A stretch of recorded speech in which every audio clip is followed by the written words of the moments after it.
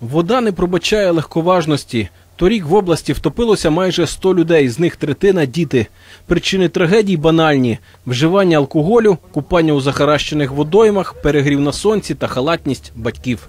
Ні в якому разі біля водойми не можна залишати людей, дітей.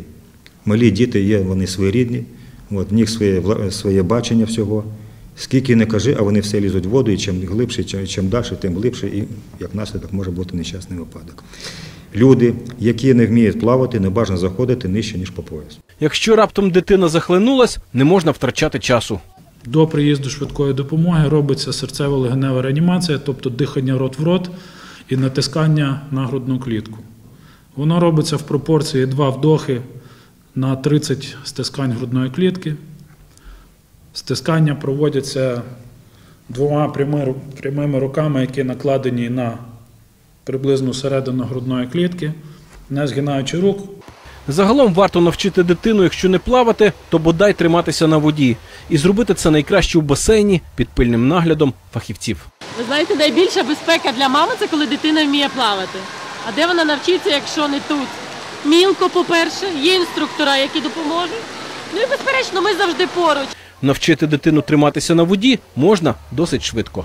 Особливо зараз перед літнім сезоном, то набагато збільшилося бажаючих навчитися плавати.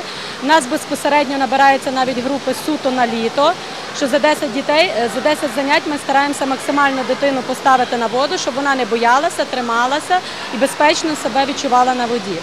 Фахові плавці наголошують, плавун-початківець за критичних обставин на 80% має більше шансів на порятунок, ніж той, який не тримається на воді. А ситуації виникають усілякі, зокрема, судома ноги.